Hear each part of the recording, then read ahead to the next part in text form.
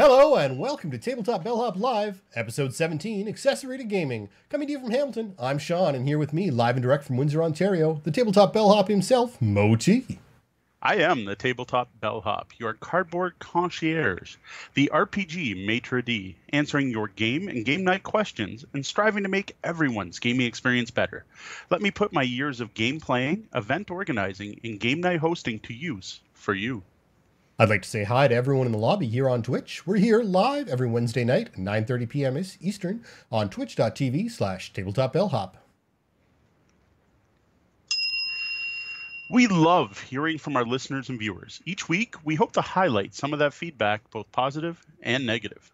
We get better with your comments and suggestions. And if you'd like to let us know something about the show, send your feedback to mo at tabletopbellhop.com or sean at tabletopbellhop.com. That's S-E-A-N. You should also feel free to reach out to us on social media. Just look for Tabletop Bellhop, one word. Speaking of social media, Phil Hatfield commented over on MeWe regards to my Agricola look back. I still have Agricola and I still enjoy playing it. I would say give it a play about every three to four months. That's a fairly regular rotation. Well, thanks, Phil. I, though I do wonder if you've given Caverna a try, as that was what turned the bellhop around. Now, Benjamin commented about Board Game Arena on the blog at tabletopbellhop.com. So he says, I've played lots of games on BGA, mostly Race for the Galaxy, but also Puerto Rico, Seven Wonders, Roll for the Galaxy, Dice Forge, and Tzolk'in. I agree with most of your points. In particular, it's a pretty awkward place to learn games. I try most games that get released on BGA, but you really do have to read the rules beforehand, and there's a lot of quality of life hmm. things that you would expect a computer platform to look after that it either doesn't or does very awkwardly. The highlight of BGA for me is the turn based mode, but also the lack of setup pack down required. Real games of Race for the Galaxy take only six or seven minutes. Uh, sorry, real time games of Race for the Galaxy only take six or seven minutes, which is great if I have a half an hour or less to kill. A point on the Seven Wonders implementation. I agree with everything you said about it, except bemoaning the lack of an expansion. I will happily play the game after uh, play game after game of Seven Wonders base, and it was only released on BGA in July, so I have to, so to have released the expansion already would probably be detrimental. The improvement that I can see, however, is that they haven't implemented the two player rules, and I would really like playing two player. It adds an interesting level of complexity to the game. Also, I'm in the Love Dice Forge, yet never heard of Rattlebones Camp. Well, thanks for the detailed comment, Benjamin. I have to admit, I haven't done much real time play at all on BGA. Board Game Arena is something I use when I find the time. Like it's it's I'm doing other things. I'm in the middle of working on my PC and I check in and make a couple moves and I stop. Then I'm working on a blog post, I publish the blog post, I go to BGA, I take a turn at the seven tables I'm playing at. Then I go do some social media and then I come back and take a few more turns. It's not often I have the time to sit down and play a full game and when I do, then I feel guilty like I should be working on something else. It's the same reason I don't tend to play video games on my PC. That's why I do that on the PlayStation or on the Xbox, which is in a different room room because then I'm sitting on a couch and it's relaxation time. When I'm at my PC, I feel like I have to be on.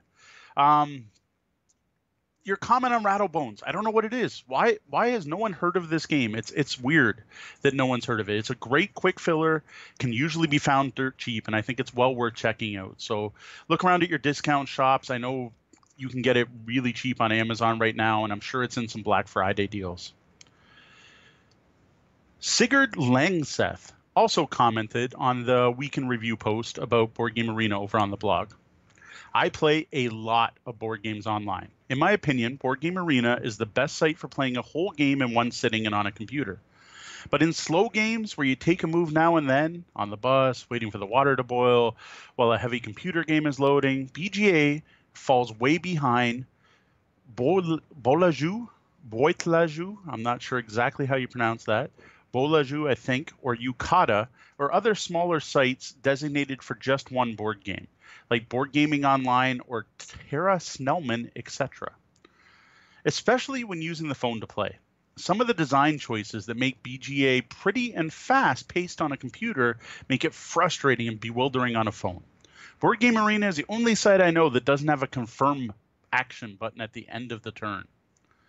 I like how you point out that a computer implementation feels better than the normal board game for Seven Wonders.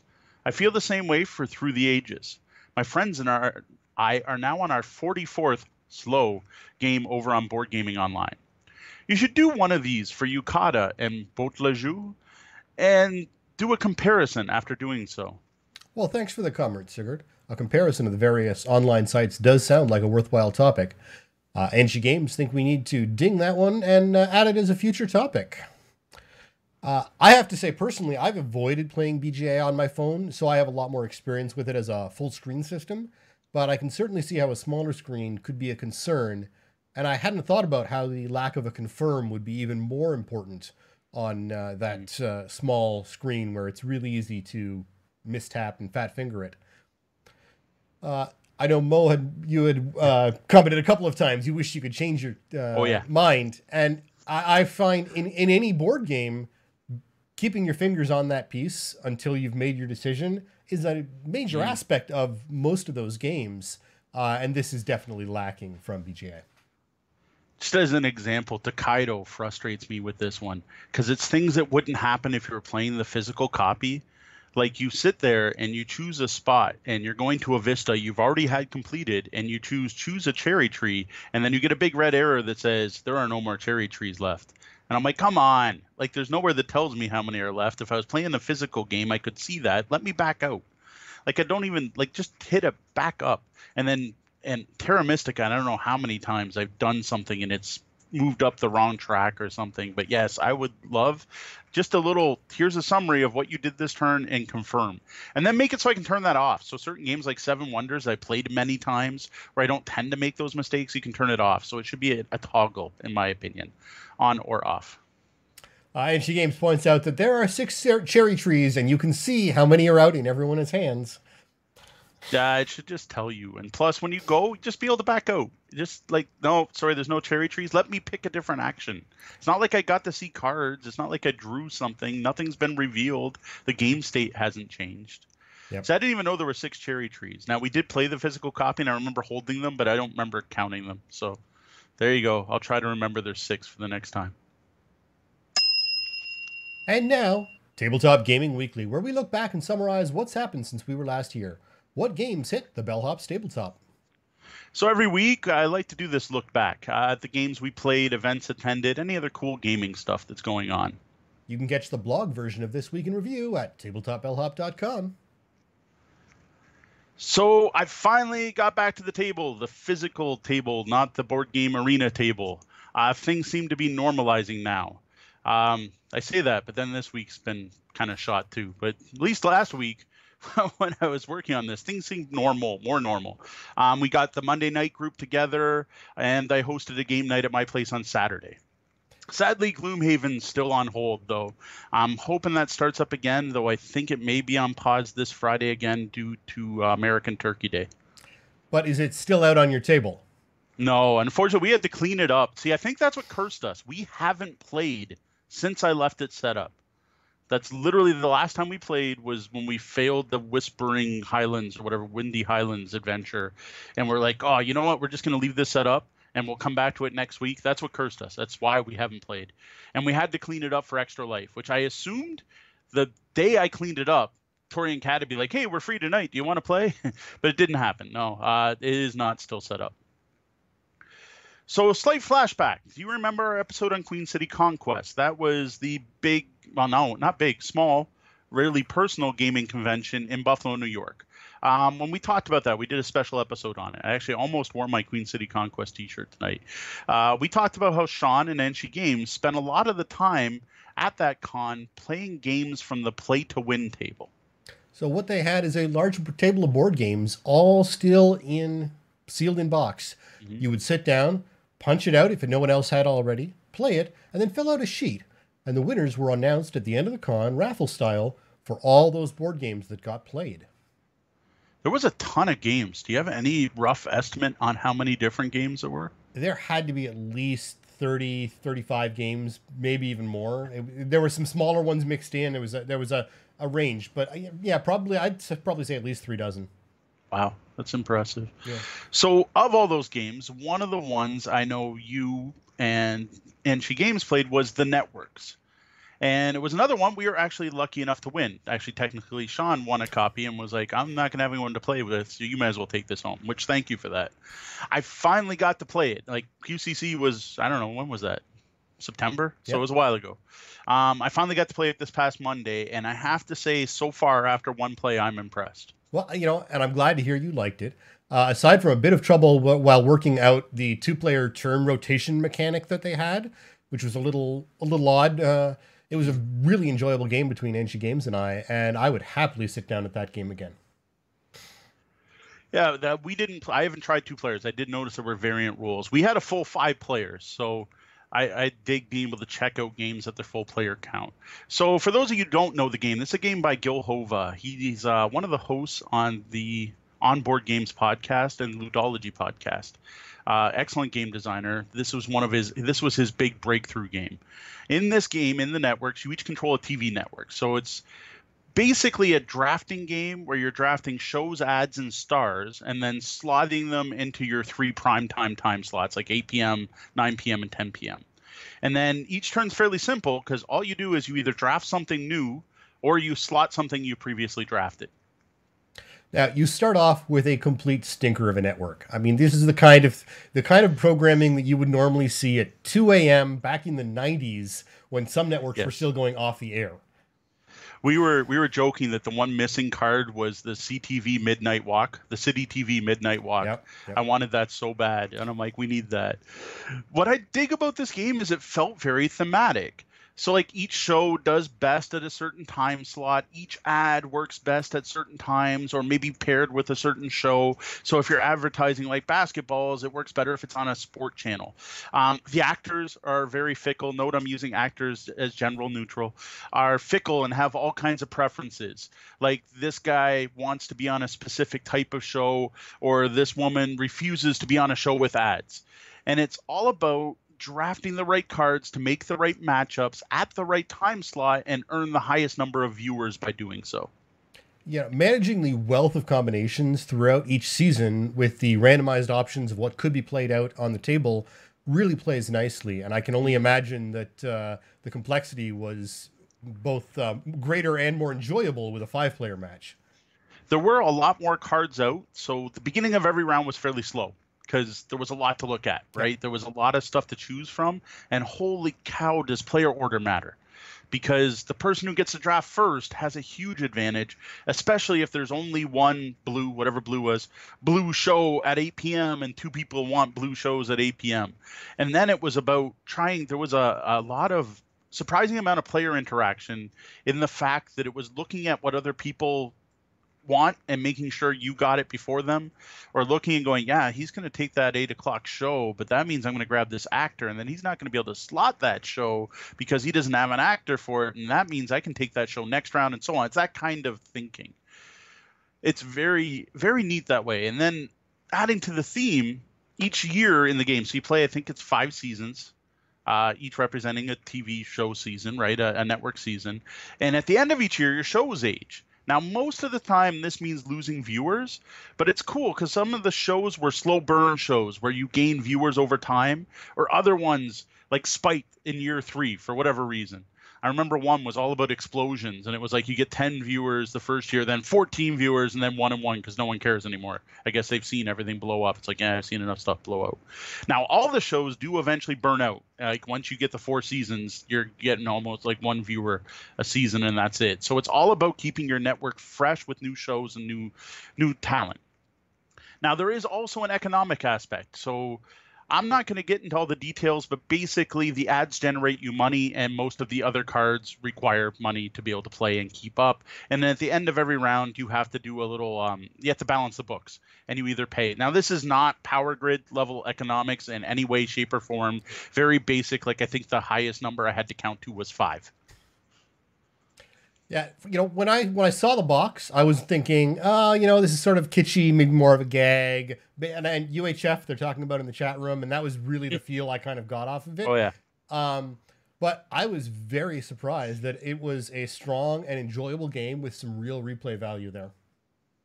I agree. And the other thing I haven't mentioned yet is it's hilarious. Like the puns, the designers and whoever the team that worked on this game did a fantastic job of parody parodying actual shows and actors. I, I don't think the ads were actual parodies, but they might have been. But like trying to figure out what show this one was, there was a couple cards we passed around. We're like, oh, I think that must be whatever. I don't remember offhand. And but yeah, we were laughing. I believe there are actually some self inserts in there as well, so the designer yeah. has some some Easter eggs in there. Yeah, I'm sure there are. It's it's the type of game that would have that. It's very much a designer's game. You can kind of the production values. Actually, I didn't mention that here or on the blog. Uh, are so so. It is not a shiny game. The the card art is silly. Um, the card thickness, they are not nice, shiny Fantasy Flight laminated cards, or there's no linen finish. It's it's pretty basic. Um, you're looking at cubes, wooden cubes to track things and player boards and cards. It's it's not a very shiny game. It kind of looks like an indie game, but don't let that scare you off because it's actually a really surprisingly good game for what it is. Uh, and it has solo, duo, and uh, up to five players. Nice. And there are expansions. I had a couple people tell me that, that the expansions are worth picking up. I haven't dug into them yet. There, I believe there are actually rules in the back of the book for expansions already. If you check yeah, the there might be. It's the kind of stuff I skip over on the first play. Right. So after the networks, uh, I already know I have five people, so I thought this was the first perfect chance to grab that copy of St. Petersburg that just keeps hitting my table over and over again. We've been playing this one a lot lately. It's kind of the new hotness around here, the old hotness really, because it's a rather old game. Uh, this was my chance to play five players. So now the old version, which I've had and loved for years, only plays four players. Now this new game adds a new phase to the game. And the way the game's set up is every player goes first in every phase once. So by adding a new phase, it also allows you to add a fifth player, which is really nice to do. So I finally got to try St. Petersburg second edition with five players. You know, and it's nice when a game can manage to up that player count without uh, you know detrimenting the play by doing nasty rules, even though it, even though historically it had always just been a four player game max. Correct. Now, overall, I have some kind of mixed feelings. In some ways, it played great. It didn't feel any different than playing three or four player. Turns were very quick. Um, didn't seem like there was a lot of downtime, or I wasn't waiting to take my turn. But it was over way too quick. Now, with five people drafting cards, there's five decks in the game. And if any of the five decks run out, the game ends that round. You don't even get a whole play one more round. It's it ends this round. Once we get through the decks, we're done and that just seemed to happen way quicker than it should. So part of the market is there's a set of tiles and they make the market worth more points as the game goes on. We didn't even get to the bottom of that stack, so we didn't even get to see the whole market because we ended the game already. I wonder if uh, they could have adjusted that gameplay a bit, requiring maybe a second burning two decks rather than just one. Uh, maybe we have a house rule in the making here. Perhaps. Now, the new version did come with some expansions, though. Actually, it comes with like six or so modules you can add or remove as you want, and two of those add more cards. So I have a feeling that the game will be better with five players using one or more of those expansions. So that's our plan next time. So there's one they call um, the purple deck. It has purple cards that give some bonuses. I'm thinking if we throw the purple cards in, that'll just draw. The, I just wanted one more round. If it just gotten one more round, it wouldn't have overstayed welcome, and it would have felt like we finished a full game as opposed to having it feel like it cut short. I wonder if they were expecting the people would grow the game in a, a certain pattern, and you bought it out of order um, right? Like not bought it out of order, but sort of started adding adding portions in the wrong order.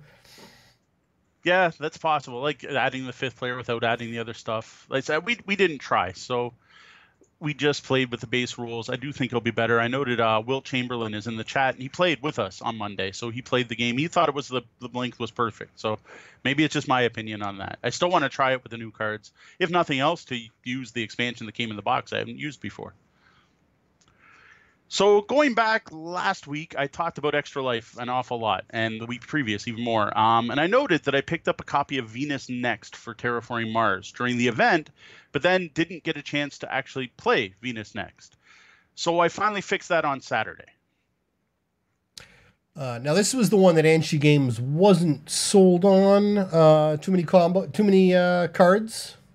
Yeah, I was gonna get to that. She she thought it was a, a little bit much, but I'll I, I didn't I don't agree with that. I don't think. I'm not sure. I'll get to it. So we played. Um, it was only three players. So I dig Terraforming Mars three players. I actually think that may be the best player count. The board doesn't get too crowded and it flows really quick. Uh, you get around the board very quickly, and there's very few chances that uh, you're going to sit there waiting, right? Uh, and everyone's going to pass, and one player is going to take six turns or something like that as you wait for them to finish their turn. That doesn't tend to happen when you play three players. Whereas I find with five players, there's often one player that ends up having running out of money, having to pass, and just waiting for everyone else to finish up. So it's nice and quick with three. Um, I played with Angie Games, so she had played before. The other player, uh, local gamer Charles, had played the base game, but not that often. Now Charles is kind of a like a local Uber gamer, right? Like he knows games, plays a lot of games, so it didn't take him long to pick up the game. And throwing Venus next in didn't seem to hinder his strategy or his ability to play. I'm shocked that knowing the game at all, Charles wasn't fully up to speed on it already. I, I, have a feeling it probably wasn't one of his favorite games. I don't think it's quite uh, I don't know, strategic, tactical enough. I don't know. He, he seemed to enjoy it. I will admit he won, which is that's that's kind of the local gaming challenge. Is if you can beat Charles, you're good at a game. So Venus Next comes with 59 new cards. So five of the new cards are corporations. The rest are all projects, or I, I tend to call them patents, but I guess they're technically called projects. That's a lot of new cards. You also get a new board and all of this new stuff's all tied to Venus. So now, in addition to terraforming Mars, you're also working to terraform Venus.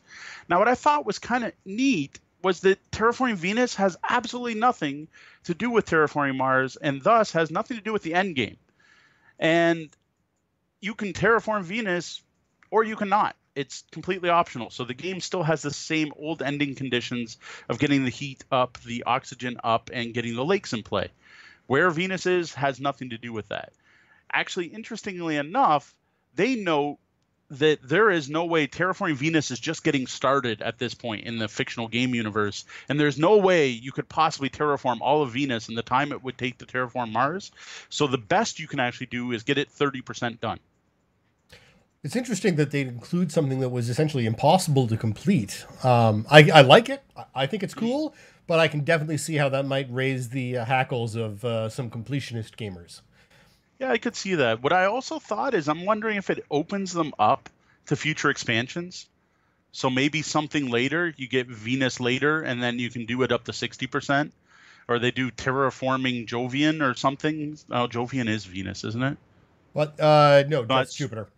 Jupiter. So yeah, if they did terraforming Jupiter, and then maybe you can get more of Venus done while you're playing Terraforming Jupiter. I don't know if that was opened up that way or not. I thought it was cool. Like I've always found Terraforming Mars, like when you read the flavor text and you look at what's happening, it's surprisingly thematic. The things that your corporations are doing to improve these planets, and I thought this just fit that. The whole fact that yeah, we're working on Venus, but we're not going to finish, seemed to fit the feel of the game to me.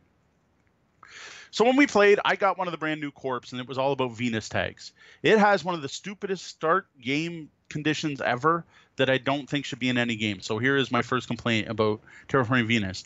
You literally draw cards off the project deck until you draw three with the Venus tag. Now you also have to reveal them, so everyone who's really good at terraforming Mars and plans their strategy around certain cards gets to see what's discarded.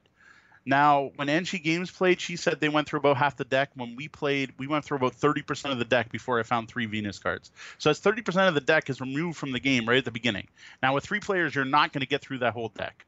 So that's just, it's just a pain. Like everyone had to sit there and watch me flip cards until I saw Venus. Oh, there's a Venus tag.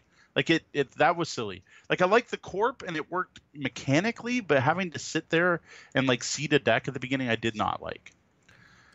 So because I had this corp, I went. I'm doing Venus, right? I'm focusing on Venus just because I can.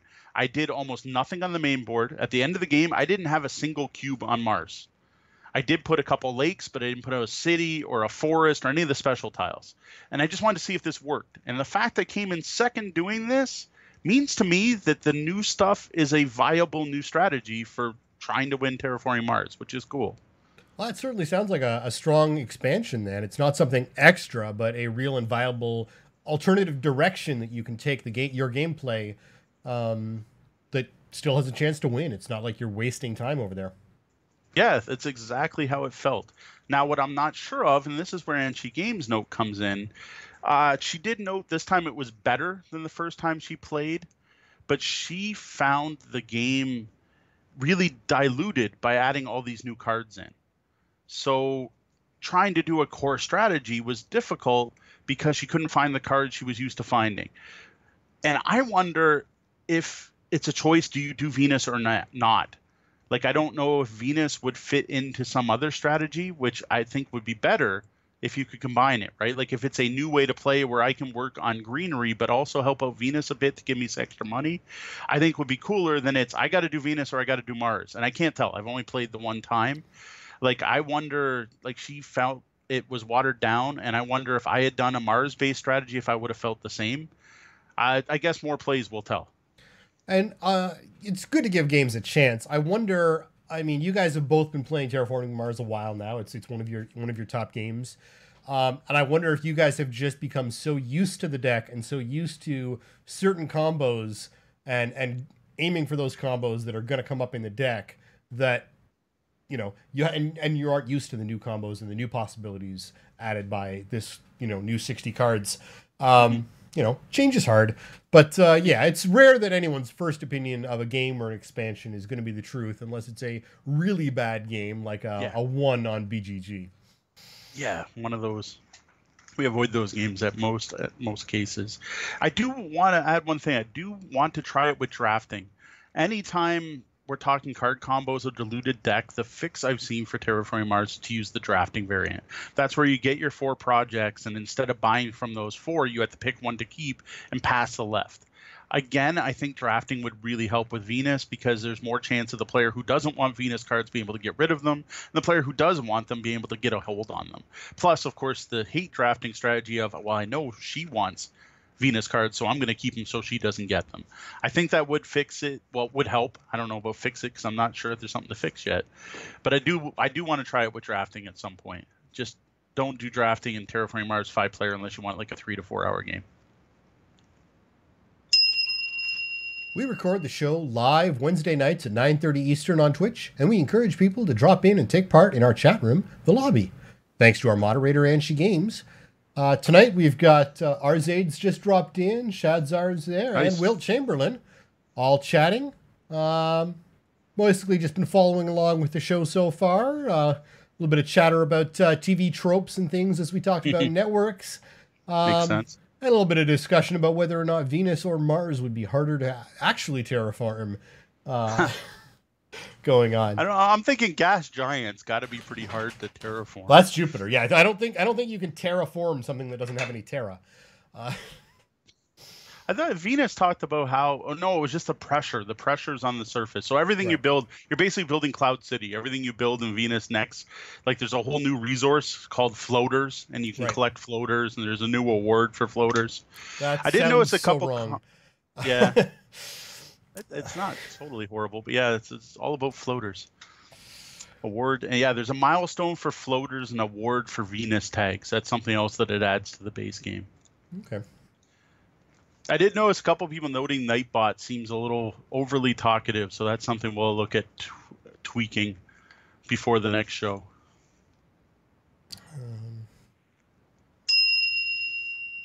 You can find us all across the web now, and we grow with the support of listeners and viewers like you. So please take a minute to subscribe to our content on your favorite platform and help us spread our gaming advice to the world.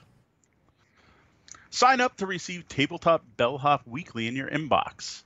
Once a week, we'll be sending out an email recapping all of the content we've released in the week previous blog posts, new podcast episodes, reviews, previews, giveaways, anything else we create you'll get it there so you do not miss anything we put out.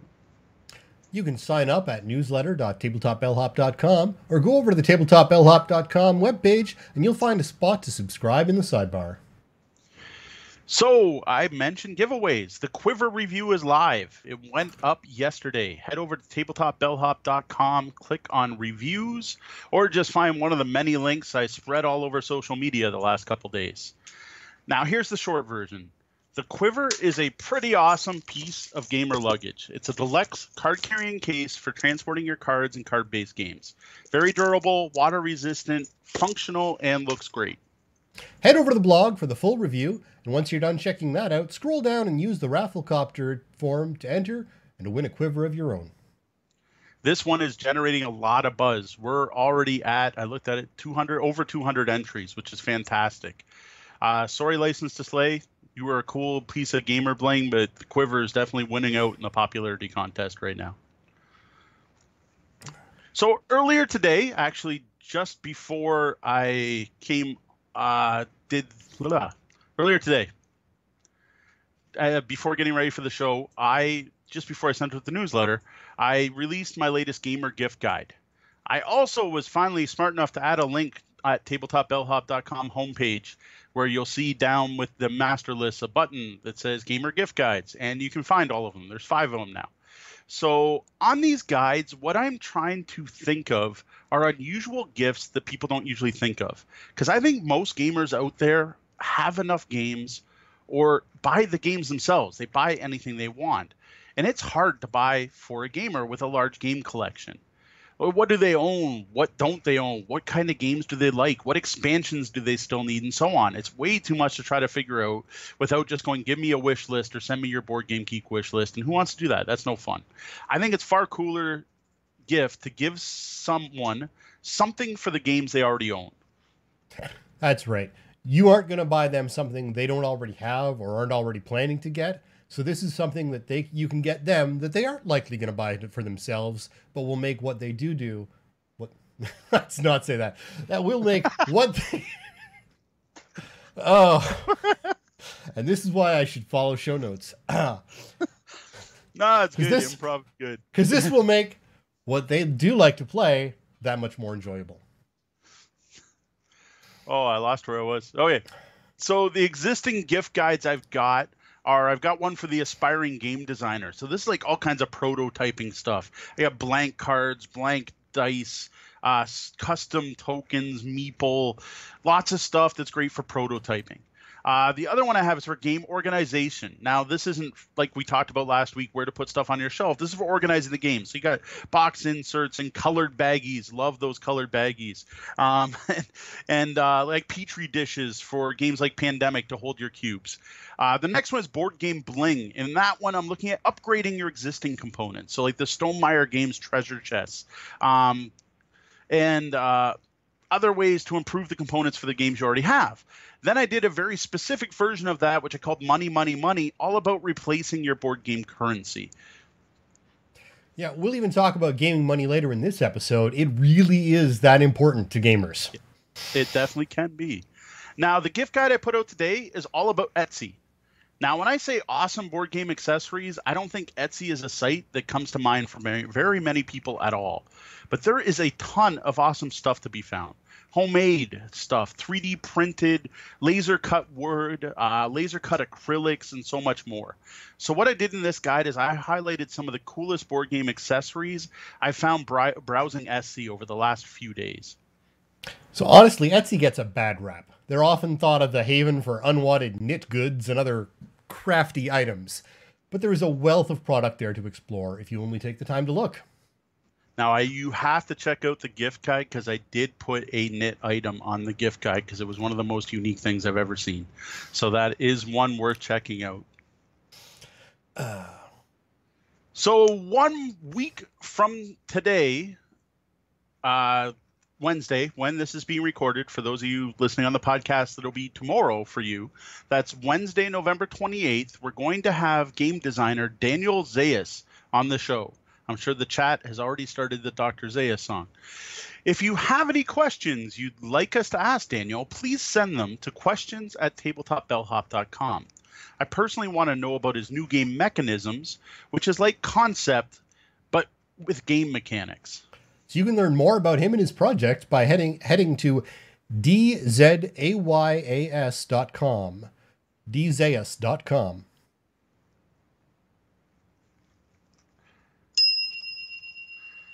So every week, as part of Throwback Thursday, I'm going to resurrect an old piece of gaming content, something I wrote years ago on another platform. I'll be republishing the original article, adding my thoughts about the topic now.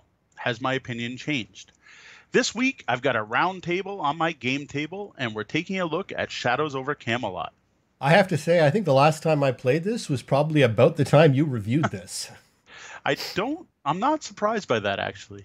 Now, I originally reviewed this hidden role game back in 2006, and when I reviewed it, it broke my brain. Like it, I, I, you know, people talk about your brain, brain exploding, right? It was like that because back then, cooperative games were almost unheard of. Like I had a whole thing that I was shocked. I'm like, my God, you play against the game, and then you toss in one of the players as a traitor. Oh my God, mind blown. It just shocked me at the time. Now I remember, as hazy as that memory may be, that the game, aside from that sort of mechanic, really felt like the Camelot, Camelot mythos. Uh, they captured the feel of the fiction quite well, uh, and and that made the game enjoyable for me at the time. Yeah, I agree. They did a really good job of of like the the because you're doing so many different things, right? You're defending Camelot, and you got the Picts attacking on one side, and you've got the Saxons attacking on another side, and the Black Knights throwing a tournament, and you've got the quest for the Grail, and you're trying to find Excalibur. Like all of this going on at once. It did do a very good job of capturing the Arthurian myths. Now, I talk about how this game blew me away being an awesome co-op game. I don't even call it a co-op anymore. I don't consider it a co-op game because it's a hidden traitor game. And now there are enough hidden traitor games out there. There are tons that I consider hidden traitor game a genre of its own. It's a form of social deduction. And amazingly enough, listeners out there, I actually like this social deduction game. Yeah, at the time, all those games were super unique, and you dove headfirst into modern hobby gaming, uh, far beyond the miniature game that we had been enjoying up. Uh, and so when I did get back and got to play something, it was all new to me. So. Yeah, it, well, back then this was this was a new thing. It was a brave new frontier, right? 2006, like there were hobby games were a thing. They just it wasn't what did we say 3500 games released in 2017 that didn't happen then. Like i think there were maybe 3500 games released total in the entire hobby industry. Yep.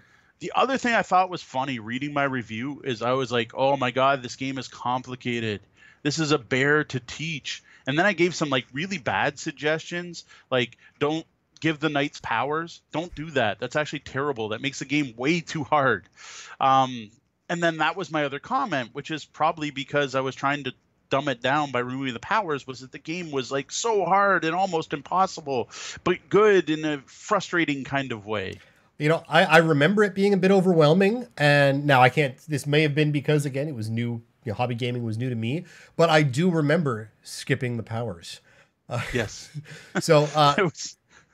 you know, looking looking back uh, at some pictures on BGG to, to trigger my memory. Uh, it's amusing in hindsight, but uh, you know, I get why I would have thought it was so complex that mm-hmm. then, you know, with all the pieces and the aspect and the, the you know the complexity of it when you look at it thinking of it as someone you know who's played the game of life monopoly and, and you know your generic family games uh, this is not clue so no so my uh, my biggest complaints were the game is hard to teach and it's too hard. And I got to say nowadays I totally disagree with both of those.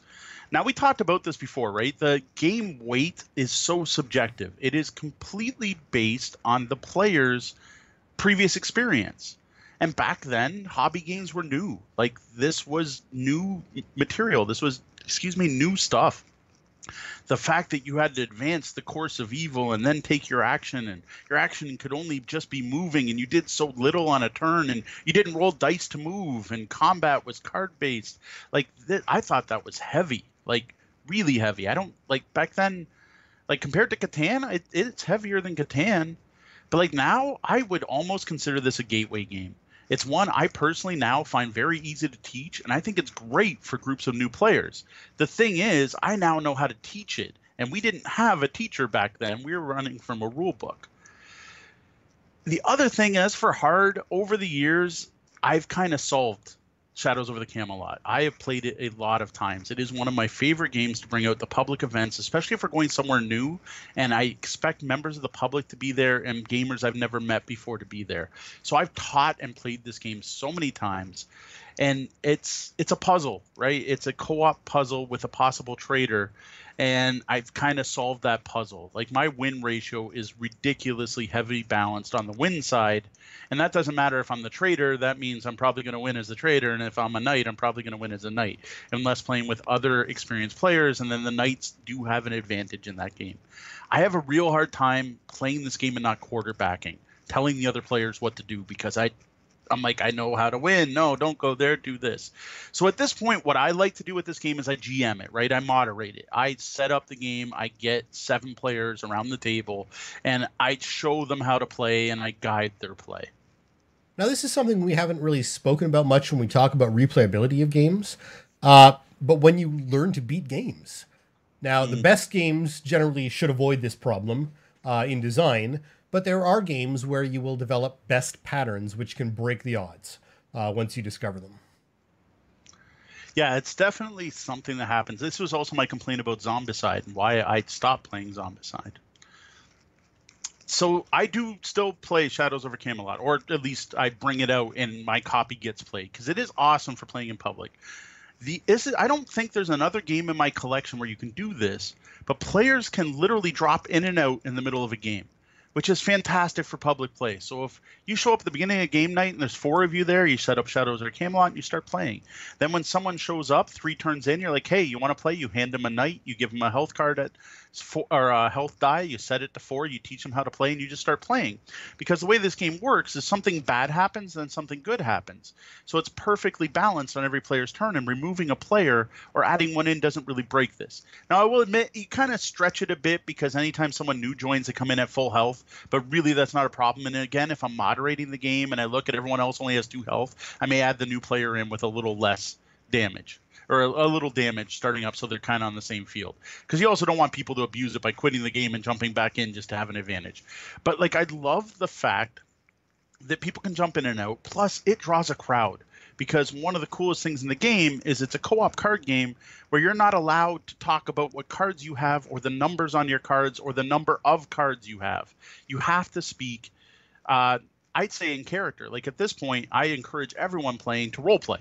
Like play or Belvedere. Say, Lord Arthur, I need help in the final hour. Can you help me defeat the Picts? Right? I want people saying that, not, Hey Arthur, do you have a five I can use in this battle? And that's half the fun of the game. You know, because of the public nature of your particular gaming, uh, even a game that others might consider broken and, and passing on can live on because it's got that public nature that you can uh, bring it out and teach and enjoy and helping others play it and enjoy watching others play it. Uh, even though, again, it may not be you sitting down and playing it. No, I totally agree. Actually, there's a surprising number of games in my collection that I only own because I run public play events and I'm part of the Windsor Gaming Resource. There are games that I probably will never play again on my own. Another example is Tsuro. I find Tsuro mind-numbingly boring. But it is great to set up in the middle of a game night and great for new people who walk in and great for people to play while waiting for a new game to start. Shadows over Camelot does fall into that group. It's not something I'm probably going to break out downstairs on my game table, but I'll definitely bring it out to another game night. Now, I'm sure someone has to be thinking, but Mo hates social deduction games, doesn't he? And yes, in general, I do, but I love this one, and I think I may have figured out why. See, in this one, you're role playing. So, yes, if you're the traitor, you have to lie to your friends. But in this case, it's not me lying to my friends, it's Sir Belvedere lying to the other knights. For some reason, that level of disconnect makes the game way more enjoyable to me than standard social deduction games.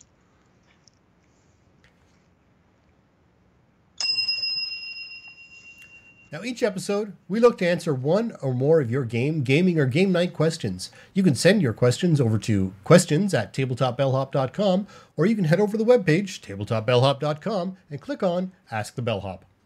Social media works too. Uh, we're everywhere as Tabletop Bellhop, one word.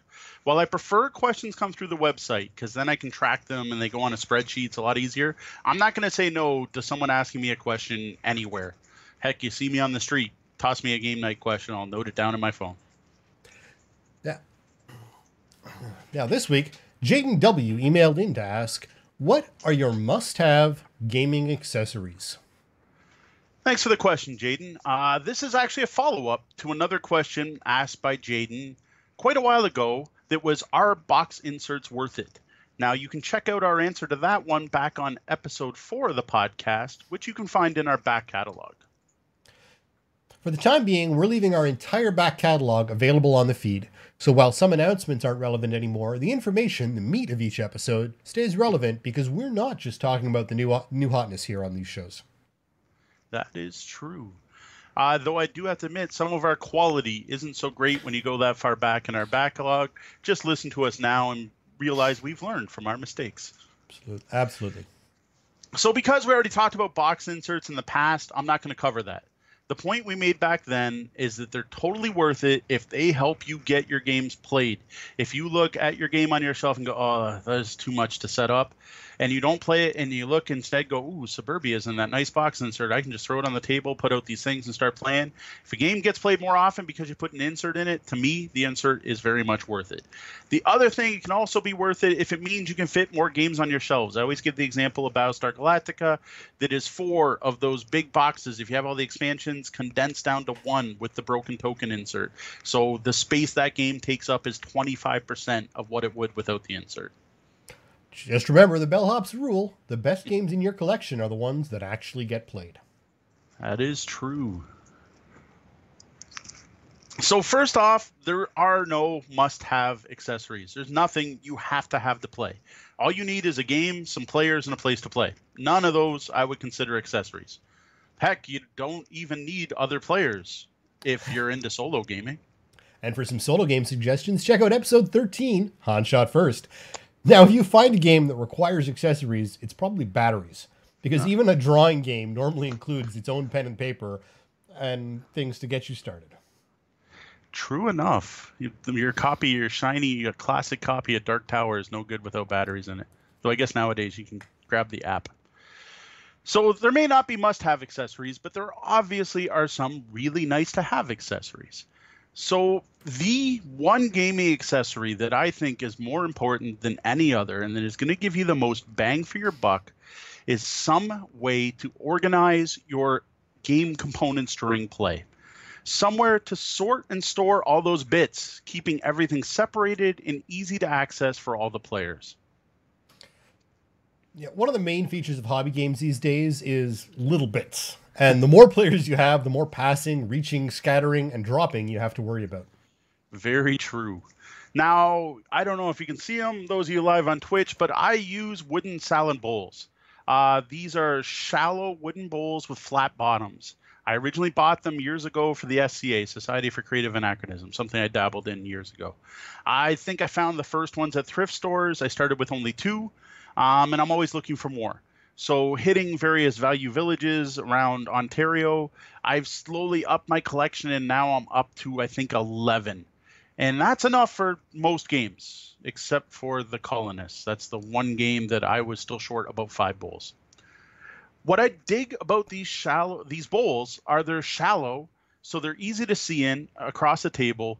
They're hard to spill. Like if you spill them, you're not tipping the whole bowl. They just kind of tip on their side and maybe a bit of components dump out, and you don't lose the whole bowl. I really dig using these. And now, don't limit yourself to thinking about one bowl per type of item. At a large table, you can have a few different bowls of the same type or types of items inside, and that way people don't have to reach all the way across your big gaming table to find that one bowl of bits that they need that player seven on the other side was last using. Yeah, it's definitely like terraforming Mars, the cubes, the the resource cubes. That like the last time we played three players, we had three bowls. We each just had our own bowl. It was the easiest way to do it. Um, besides bowls, there are a ton of other options. I use bowls. I don't see any reason to use anything else most of the time. The one I see a lot locally are the silicon muffin baking cups. They usually come in a huge number of colors. They come in different shapes, which is cool. Like you can get different sizes, but you can also get like rectangles and crescent moons. Excuse me. You get crescent moons, and they're generally really cheap. They're easy to store because they stack, because they're silicon, they can even be flattened. And what I've noticed some of the locals gamers do because they're cheap enough is they just toss them in their game boxes, and every game's got its own set of silicon cups. But please think of the environment. Don't use your paper muffin cups. no, or coffee filters. They just don't work. It kind of flops around everywhere.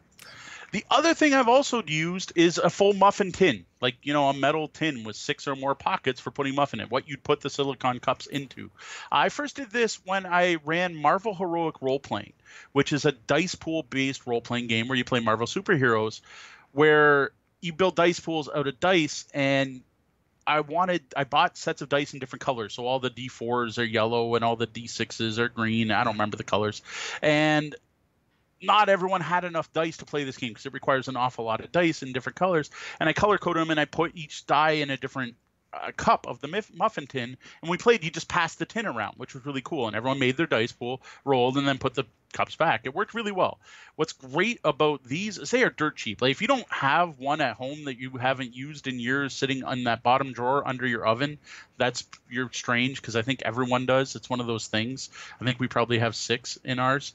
Uh, if you don't, you can go to a dollar store usually and find tins cheap enough. Now, there's also the silicon ones. I personally prefer the metal because the silicon ones are floppy, floppy, floopy. Um, you can pass the metal ones around easier. So it's hey, take my tray. Now, this even more than the accessories could be the real tip here. Go to the dollar store. Just do it. Open your mind, walk up and down the aisles, and the number of useful tools you can find walking up and down those aisles is remarkable. Uh, I, as a photographer, I used to just once a week go to the dollar store with five dollars in my pocket, and I would come home with a week's worth of photography projects for five dollars. Except nowadays, I think every item in the store is five dollars. That's what it seems like all the well, local stores unfortunately, here. Unfortunately, the dollar store is horribly misnamed now. Yes, but yes, it is not even close. I don't, I don't even know what the under five dollar store maybe. Although I have seen six dollar items, so even that doesn't apply. No, but it's very true. There's actually quite a few things on this list that you can find at dollar stores and resale shops. It is worth shopping around. Now, any chit based hex encounter wargamer out there has probably seen and used counter trays. These are vacuum foamed formed vacuum formed plastic trays.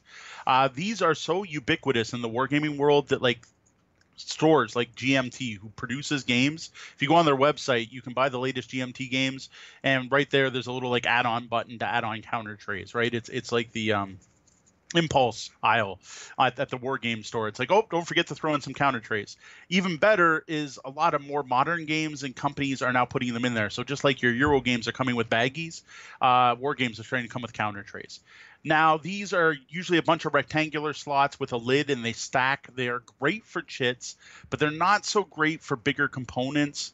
So like you're not going to be able to fit meeple in here because they're not deep enough, but they're great for any game with a lot of counters. They're very cheap. You can order them in bulk, and this is what I think I really do need for the colonists instead of using my bowls. Uh, for podcast listeners who may not see the links we've got posted in the chat here, uh, if you think a lot like a small um, tray, tray of chocolates, um, it's, it's very much like a, a tray full of thin chocolate squares. Uh, and they really are for war gamers. They're just sort of the standardized box mm-hmm. insert mm-hmm. for all your war games. Actually, that's that might be a, a, a hack right there. Keep that insert from your pot of gold or whatever the the box of the Laura Secord. Maybe that's a good way to organize your board game components after the holidays. I'm gonna have to look at that. Like that Ferrero Rocher tray. There that's you got go. Some nice. Hey, I'm gonna have to look at this. so I think the counter trays are specific to wargaming, but there's lots of companies out there now making trays specifically for us, for tabletop gamers. There's Zen Bins and uh, Game Trays are the two companies that immediately pop to mind to me that are well worth checking out. They make uh, one of them does like for cards where it's actually easier to lift the cards. They're designed a certain way. Um, the I can't remember which one it is. They stack and the lid becomes one entry, like one tray, and the bottom becomes another tray, and then you can put them together. There's some really nice ones out there. And then I already mentioned on the gift guide, but man, look on Etsy. Like there is some really neat containers. Um, on the blog post where I talked about this, I actually linked a container that holds your things and it has a little lip specifically designed for getting the bits into baggies when you're done playing. I thought that was brilliant. Now I haven't actually tried these, but they look really cool. You know, and the best accessories really have some extra thought about how they're used. Those little things like that lip to help get things back into your baggie can really make all the difference and might be worth uh, a little extra you might po- pay over the dollar store versions. Very true. So, in my opinion, the most important thing is having something keep your components sorted stored and easy to access that that's my number one that's if there was a must have that's it you don't want to just dump all your stuff out on the table with a big mess of bits everywhere basically you don't want to waste game time trying to sort and find things while you're playing. Everything should be easy to access. Uh, it goes back to we were talking last episode about 5S and the golden zone. You want any component you're going to use often to be in arm's reach for all the players. If that means multiple bowls or not, that's going to speed up gameplay, and speeding up gameplay is going to make your game night more enjoyable. So the accessory is actually making your games better. That's what you're looking for. Now, the next step is keeping everything in place. Now, we all have friends in our gaming groups or otherwise We're just a bit clumsy. It's not mm-hmm. usually that person's fault. There may even be medical reasons. Coordination is hard. It's a life skill that you actually have to develop, and most of us take it for granted. Very true. Oh, I'm just imagining uh, little G playing anything with components and how bad that could be. So, over the years, anyone who's a hobby gamer has probably lived through the earthquake of Catan or the great disaster of Carcassonne, right? Someone bumps the table or someone with long sleeves catches the corner of a tile and oh my god, the game's ruined. Oh, did your what did you have a city here? I can't remember. Oh, I've got this road left. Where's it go? Oh, it's so frustrating.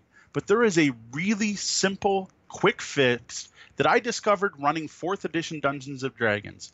I know a lot of people don't like Dungeons and Dragons. Maybe here's the one good thing that came out of 4E D&D to you. I personally love the system, so don't look at me for that. Is shelf liner, sometimes called drawer liner or non-slip netting or grip liner. This is a roll of puffy stuff that's non-stick but also non-slip. It grips the table, and whatever you push on it, any tiles on it, grip it. This stuff works fantastic. So now there are a lot of different uh, terms used for this, and there are a lot of different options. Make sure you buy specifically stated non-adhesive because yes. you can get adhesive stuff, and that will ruin your day a lot. You don't want to make that mistake on your expensive gaming table. So I guess you could get the glue stuff and coat your whole table, but I'm assuming you probably have games where you want stuff to slide.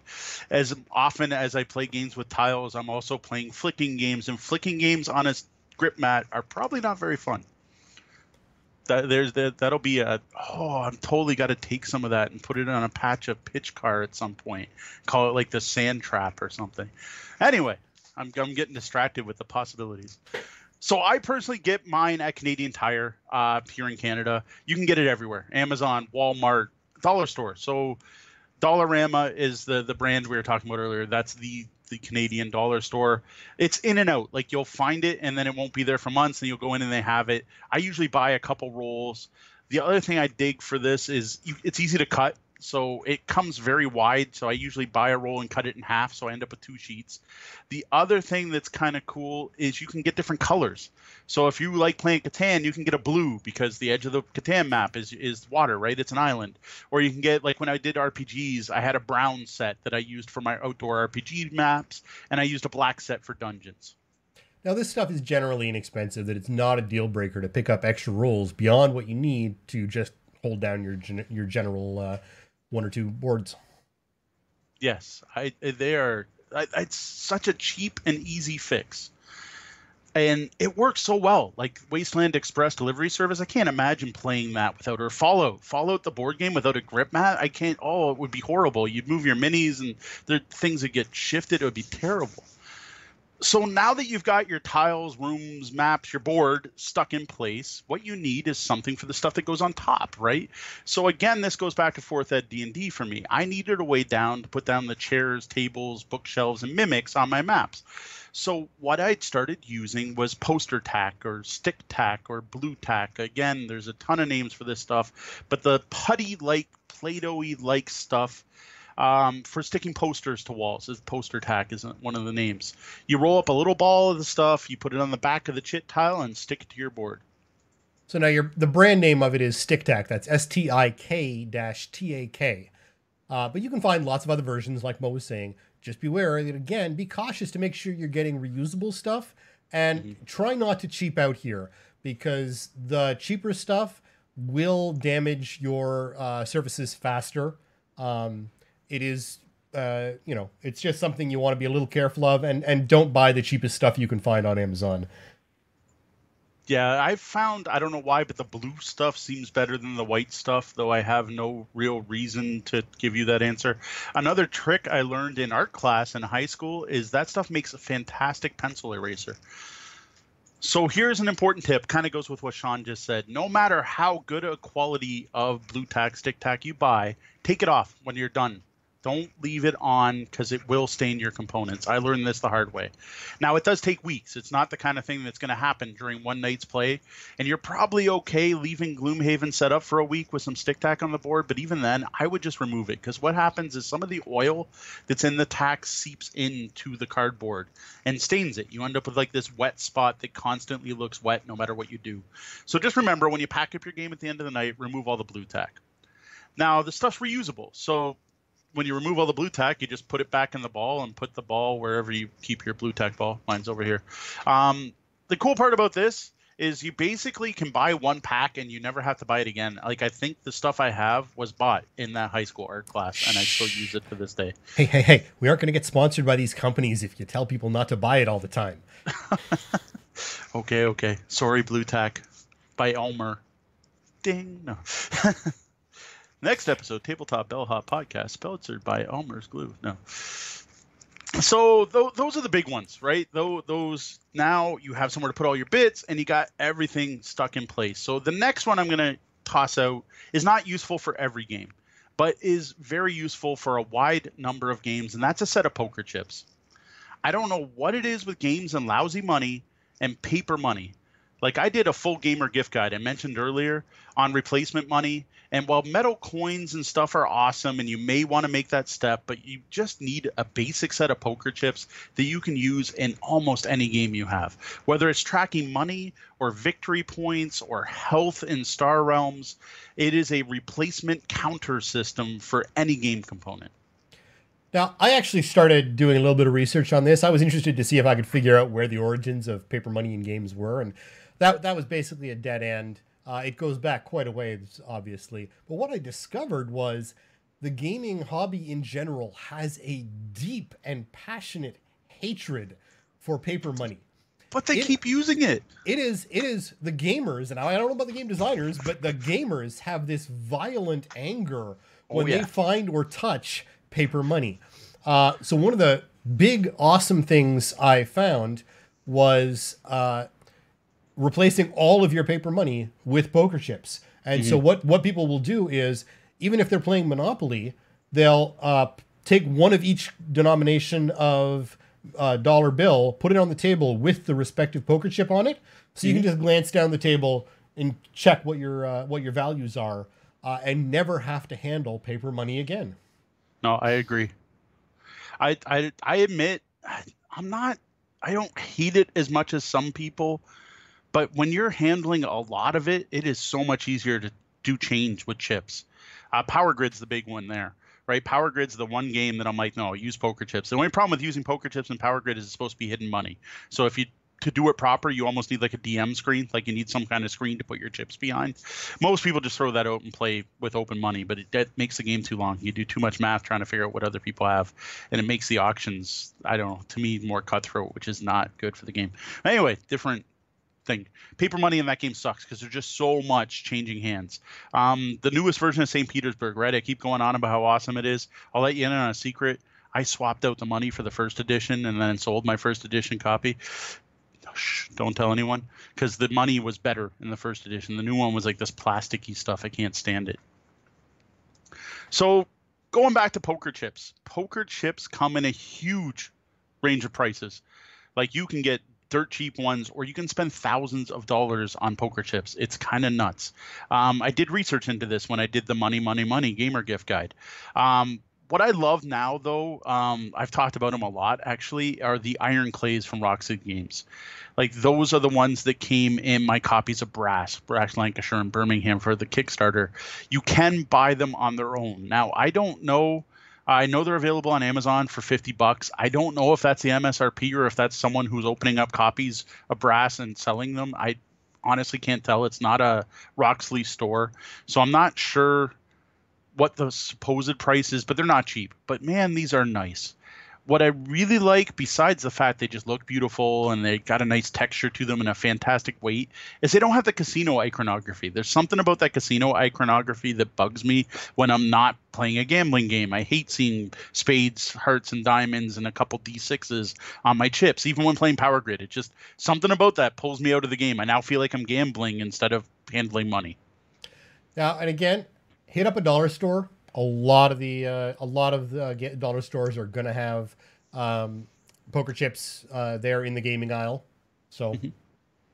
so I've never looked there. I'm surprised you can get them that cheap. The set I I have two sets now because of the iron clays. The other ones I have are from my parents. Like they just bought one of those metal tin poker sets. It came with a couple decks of cards and a, a big felt mat with the dealer and all that stuff on it. And I inherited that when when they they left their house. So and, and just they were. Uh, by the way, Roxley is selling it for $51 Canadian, $39 US for the iron clays.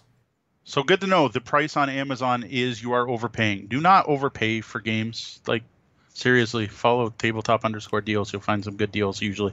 Yeah. I, I refuse. Don't pay more than MSRP if you can help it. So yeah, I guess they should only be about 40 US. Yeah, so you, you can buy them right from Roxley.com. That's yeah. if you know. go to Roxley, you've got them for $39 US. Uh, good to know. I should have did that research. I have to, I have to swap something up. I got a link to uh, switch my link up on the money, money, money. So those are my big things, right? Those are the accessories. If if I was to say, excuse me, what you must have, those are the items you most want to have because you don't need any of this. Anything else we mentioned the rest of the show to me is a bonus. This is stuff you don't need in any way, but may want because they're cool to have.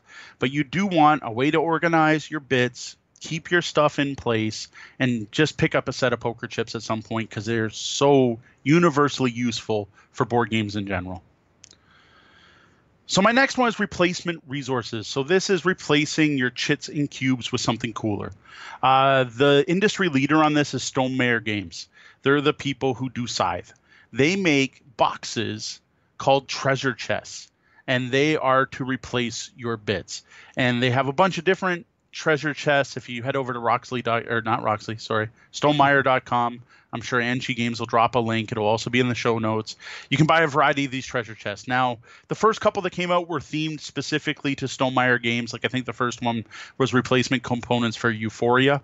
It was popular enough that they started putting out generic ones, so you can get basically a Catan set. Now these are like little clay 3D full color bits as opposed to a chit or a cube. Very neat, increases immersion, but again, you don't need this. This is just a cool to have. Um, another thing to look at is metal coins and other money. Again, check out the Money Gamer gift guide. There are a lot of surprisingly affordable metal coins out there. Like if you have an Asian themed game, you can get Chinese fortune coins dirt cheap all over the place online from warehouse places, Amazon, etc. You can get themed fantasy coins, you can get sci-fi coins. Metal coins are surprisingly accessible nowadays. You can also get them specific for specific games if you're into that. Like if you pick up the Tuscany expansion for Viticulture, it has metal coins in it, and you can buy those separate. But like at this point, I think you're better off buying generic coins you can move around to different games. Then there's companies out there that their entire business model is putting out replacement resources one of the coolest that has some of the nicest stuff is Meeple Source. That is all Meeple Source does is sell you upgrades for your existing games.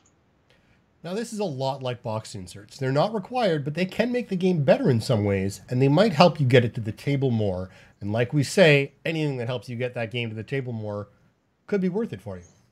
Mm-hmm. Now another one, laser cut acrylics. These are getting more and more popular. I personally worked with Litko. We're going back to fourth ed D and D here.